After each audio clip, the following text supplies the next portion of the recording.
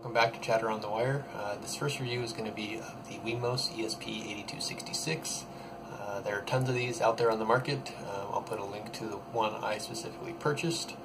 Uh, a little background on this project. a buddy of mine who I used to work with uh, on the networking staff, um, they had issues where people would always complain about wireless in the different um, areas of our place of employment and people are always complaining about wireless. Um, it's just the go-to network gremlin, I think, anymore. But to double check to see if there were really issues there, um, three plus years ago, we picked up a Raspberry Pi version 2, uh, no built-in wireless, uh, installed quite a bit of different tracking software on that, got some IP perf or I, iPerf uh, program set up on it to do actual speed tests to see what we could actually get across the wire at any given point in time and that worked quite well for what we needed um, back in the day. That buddy has since moved on. About a week, two weeks ago, he got a hold of me and said that he's seen the same kind of complaints where he is cur- currently at. Asked if I had the old documentation for that. Well, I did provide that old documentation. I decided I would start looking for something a little different um, and cheaper. While the Raspberry Pi is not very expensive, all said and done, we start buying all the pieces and parts, uh, cases, any of the other display screens. Um, we quickly got into the 50 60 $70 range. Um, again, not too expensive for something like that if you want to test, but this then brought up uh, what can we do um, three years later? What's changed in the technology realm? Um, so I picked up a little, as I said, uh, Wemos ESP8266. Uh, this one has a built-in screen. As you can see, it also has a built-in 18650 connector on the back of it. I'll try to show a close-up of it over, I believe, in this corner here. Um, it does have very few pins that you can use for other um, projects. Um, you can see across the top here. There are eight pins. We'll do a close-up, hopefully, up in the corner again on that.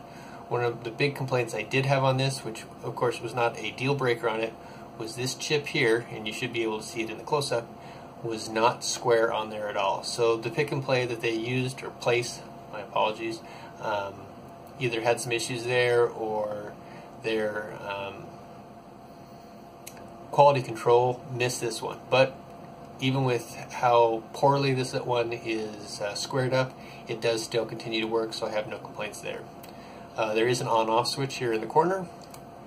The 18650 can be uh, charged, but it cannot be running and charging at the same time as my understanding on this device. Uh, this device is set up, as are a lot of the other ones that I've found that are similar to this, to take a flat top 18650. Um, if you try to use one of these that actually has the little knob uh, on the positive end like that, it does not fit in there well.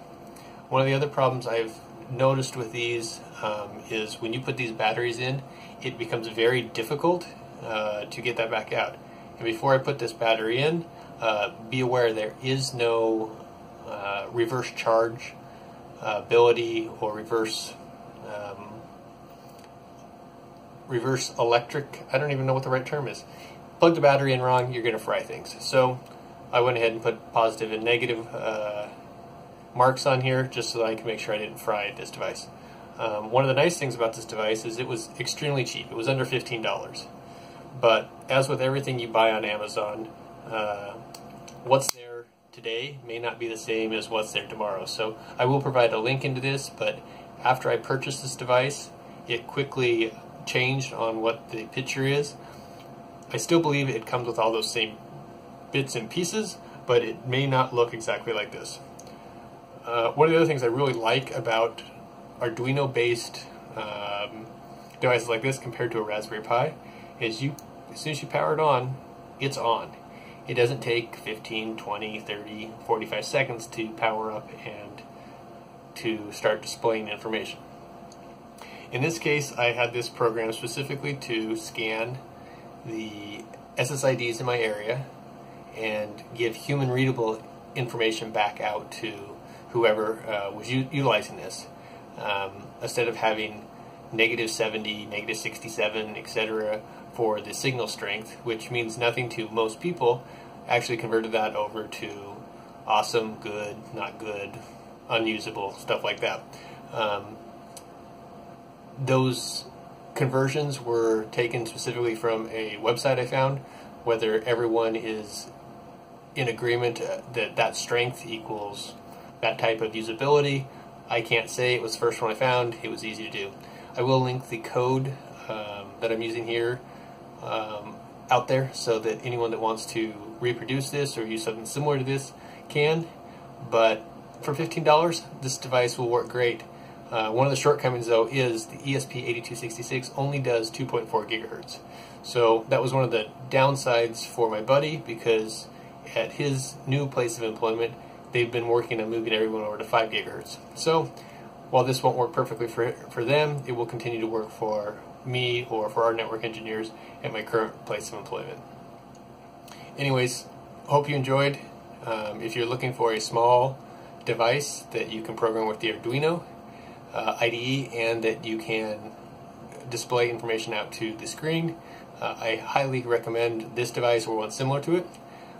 One big setback, though, or um, issue that I did have with this was finding the correct libraries. Thankfully, someone else on the Amazon forums had provided some links to the documentation. I had tried to use some of the previous code that I had used for this display here, um, which was the, I believe, U8x8 uh, Arduino code, and I couldn't find a way to make that work with this. Um, had I dug in deeper, it probably would have worked, but the initial code that I put on this took maybe 10 minutes to get things displaying on that. It was probably more like uh, three or four minutes. Um, trying to get the display working though took me another half an hour to an hour, uh, and that was a lot of digging around on the internet trying to find the right code to use on that, and partly because I was stubborn and trying to use previous code that I had done for the uh, display.